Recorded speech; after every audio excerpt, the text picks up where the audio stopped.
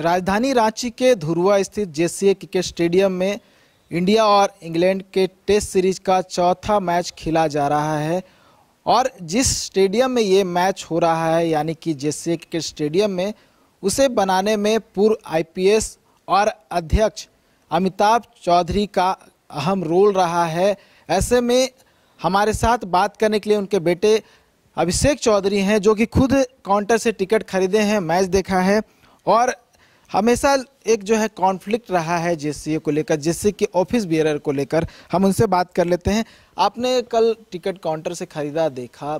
एक मैं, मेरा जो सवाल है, क्या यूजुअली जितने भी मेंबर्स रहते हैं या फिर एक्स मेंबर्स रहते हैं, उसके लिए पासेस आते हैं क्या? कुछ एक्स्ट्रा एडवांटेज मिलते हैं क्या? नियम जो है जहाँ तक मेरी जानकारी है और लगभग सही होगी, कि हर मेंबर को दो पासेस का अधिकार होता है। मेरे परिवार में एक अब रहे लाइफ मेंबर हमें है नहीं ना ही पास आता है ना ही हम किसी से मांगेंगे सर। तो नहीं पास नहीं आया नहीं हमने मांगा। जो अन्य ऑफ़िस बियर है मेंबर्स एग्जीक्यूटिव मेंबर्स है उनके लिए तो प्रोवाइड हम बहुत सारे उनके लिए तो होता ही है सर।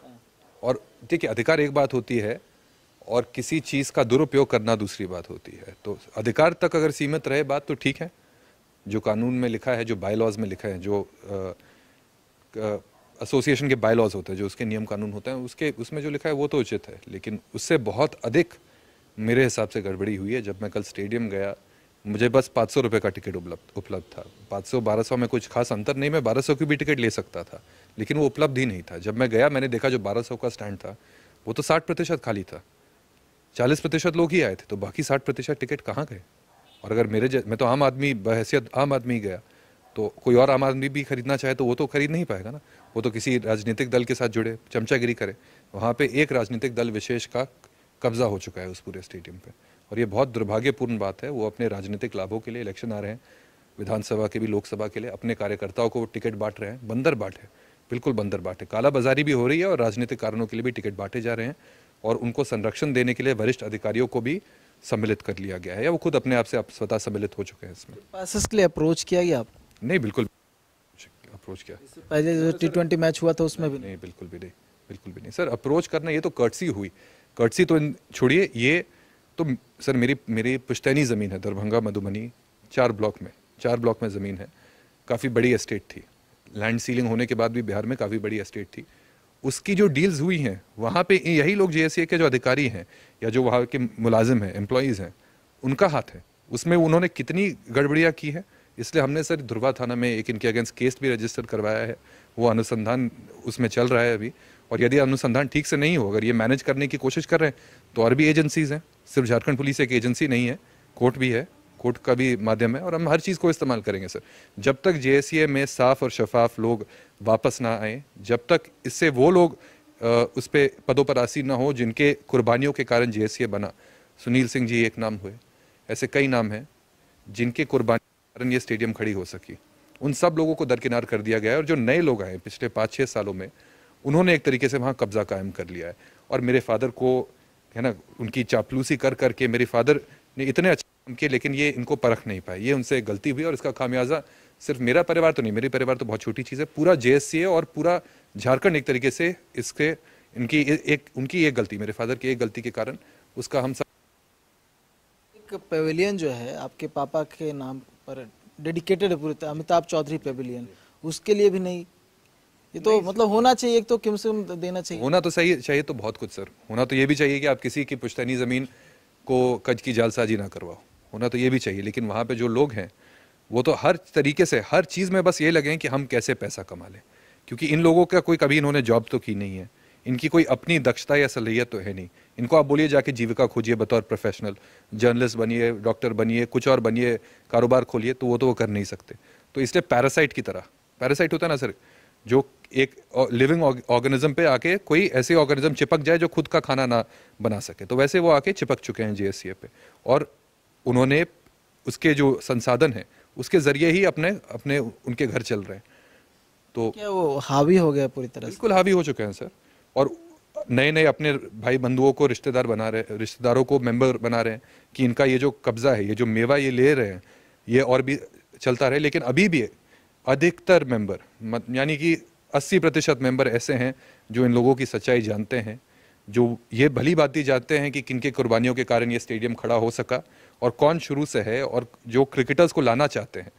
मूल रूप से सर, क्रिकेट प्रशासन क्रिकेटरों के हाथ में होना चाहिए। मेरे फादर भी थे, वो खुद क्रिकेटर रहे थे, वो आईपीएस अफसर थे, उससे पहले वो क्रिकेटर भी थे। ये लोग जो फ़िलहाल है, इनको आप गेंद पकड़ा दें लेदर बॉल वो उसमें सीम आइडेंटिफाई नहीं कर सकते। बैट कैसे पकड़ते हैं?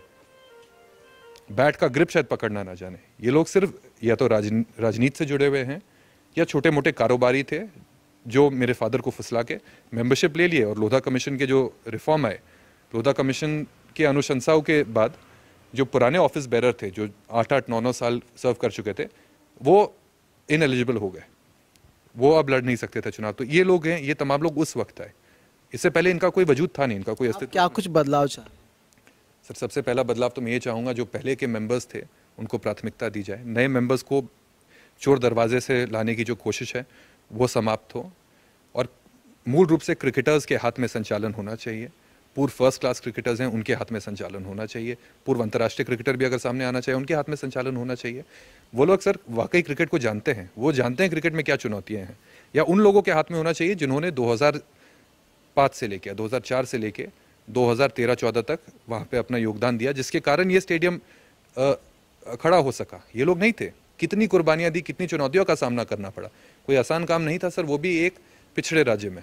जहाँ पे कुछ भी काम कराने के लिए प्राइवेट सेक्टर में खासकर, कितने रोटियाँ बेलनी पड़ती हैं। आप भी जानते हैं, कोई भी काम उस समय संभव नहीं था इतने आसानी से कराना। तो मांग है कि जो जैसे क्रिकेट स्टेडियम का हाथ है, वो पूर्व क्रिकेटरों के हाथ में दिया जाना चाहिए। हमारा जो मेन मकसद था ये, मकसद ये था कि जो जैसे क्रिकेट स्टेडियम बना है और जिसमें जिनका महत्वपूर्ण रोल रहा है, उसमें कहीं ना कहीं जो है उनके लोग, उनके परिचितों को पूछा जाए। और हम बात कर रहे हैं अमिताभ चौधरी की, जिनका अहम रोल रहा है जैसे के स्टेडियम बनाने में। और एक पेविलियन जो है उनके नाम पर डेडिकेटेड भी है, लेकिन उनके फैमिली को अप्रोच भी नहीं किया गया है। एक भी पास उन्हें नहीं मिला है। उनके जो बेटे हैं, अभिषेक चौधरी खुद इन्होंने काउंटर से टिकट खरीदा और जाकर मैच देखा। तो कहीं ना कहीं मैसेज देने की कोशिश भी की गई थी कि अगर जैसे प्रबंधन जो है हमसे कांटेक्ट नहीं करती है तो उसके लिए वो जो है जैसे प्रबंधन से कांटेक्ट नहीं करने वाले हैं। उन्होंने खुद तक टिकट खरीदा है और मैच भी देखा है। और इनकी मांग जो है कि आने वाले समय में कि जिस तरह से गड़बड़ी चल रही है, इनका आरोप है, वो गड़बड़ियाँ जो है दूर होनी चाहिए और इन्होंने एक कंप्लेन भी किया है जिसकी जाँच अभी चल रही है और सीधे रूप से कहना है कि जितने भी ऑफ़िस ऑफ़िस बियरर हैं, उसमें पूर्व क्रिकेटर जो हैं, वो आने वाले समय में दिखाई दे। न्यूज़ बाइस्कोप के लिए, कैमरा पर्सन तापस के साथ नीरज कुमार, रांची।